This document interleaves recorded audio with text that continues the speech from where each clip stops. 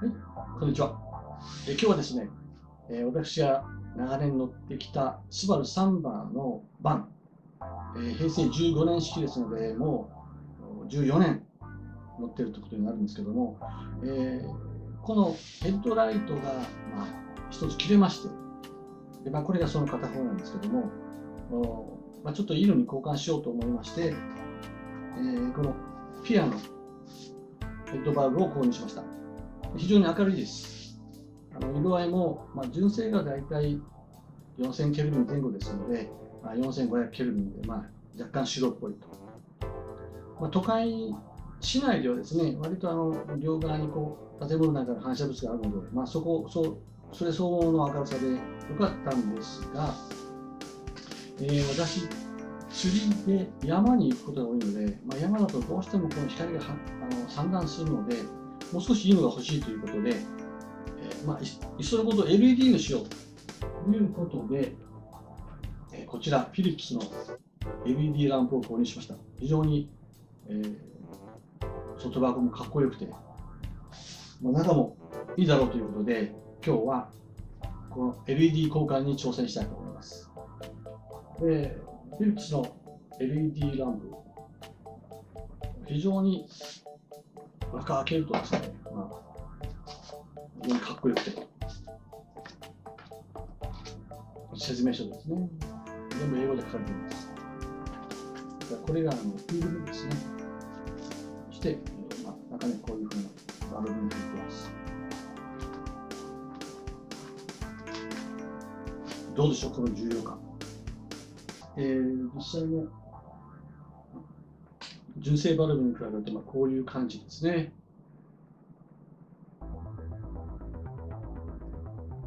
これが、あのまあ、ここにあるソケットというのは、これがまあ外れまして、よいしょ。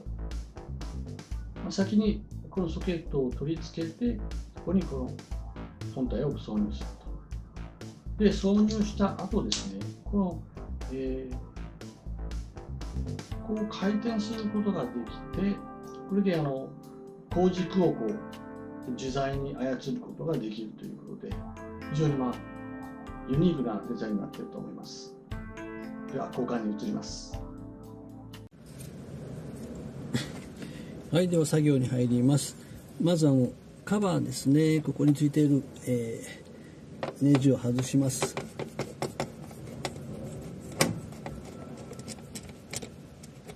はい、ネジが外れてカバーを外しました。そして、えーこれカプラーですね。カプラーを外します。両側を押さえて引っ張るとすぐ外れました。からこれが、え防水用のゴムですね。よいしょ。はい、外れました。えーこれがライトバルブですね。えーここ止めているバネを外して、すると、バルブが外れます。これがあのピアノ4500ケルビンのライトです。ね、これが交換用のバルブですね。えー先ほど言ったようにこのソケットをまず外します。うんよいしょ。はい、ソケットが外れました。まずはソケットだけ先に取り付けます。えー、と、どの位置かな？こうですかね。よし。ソケットがはまりましたら、えーバネで固定をしますと。これでソケットが土台ですね。えーこれで綺麗に止まりました。そしたら次に、えー本体を差し込むんですけどもその前にですね本体差し先に入れるとこの防水ゴムがつけられませんので先に防水ゴムだけを取り付けますよいしょそしてこの周りもしっかりと隙間がないように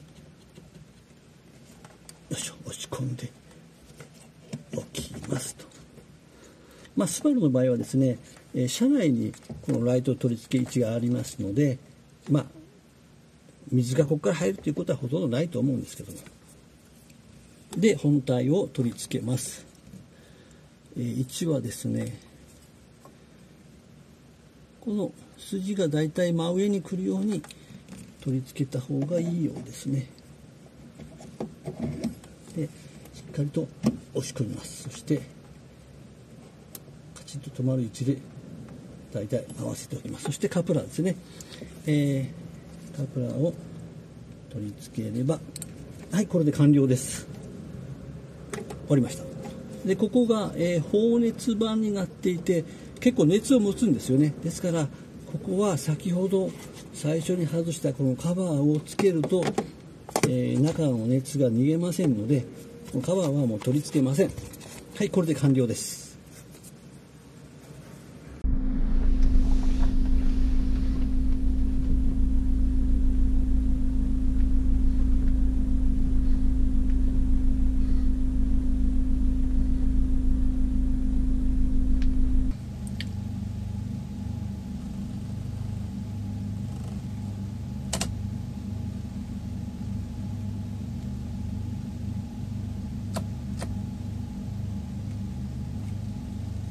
フィリップスの X3 ヘッドランプ、えー、これについてちょっと説明をしたいと思います。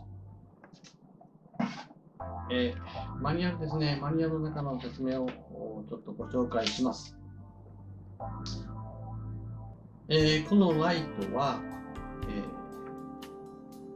ー、およそ、まあ、オペレーティングタイムライフあの寿命がまあ3万時間、まあ、1日5時間としてだいたい16年ぐらいは、まあ、持つだろうということですので、まあ、あのフィラメントがないので、その玉切れという症状はないと思うんですけども、あのまあ、機械的な故障がない日にしても上がるということですね。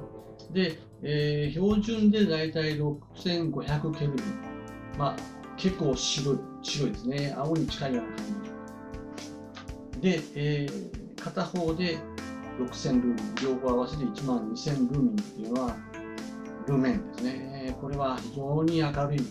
あの一応、まあ、車検対応とはなってるんですが、もしかすると、えー、車検に通らない可能性もあるので、あの外された場合は元のバルブを、まあ、取っておくという方が賢明だと思います。それからあの先ほどちょっと言ったんですけども、バルブにはですね、このフィルムがついてまして、え、このフィルムが2種類になってですね、え、ちょっとお分かりいただけるでしょうか。え、まあ、ブルーとイエローと。